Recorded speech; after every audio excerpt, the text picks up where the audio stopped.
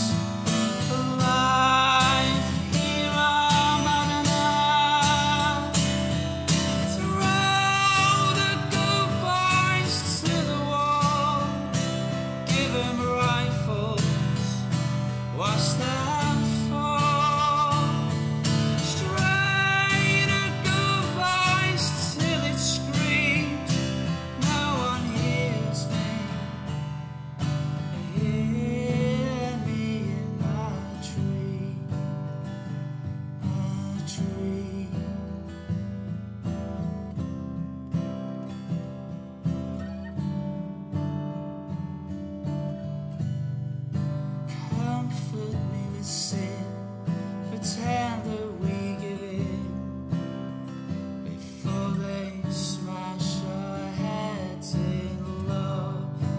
Might still win out as long as we don't shout it to.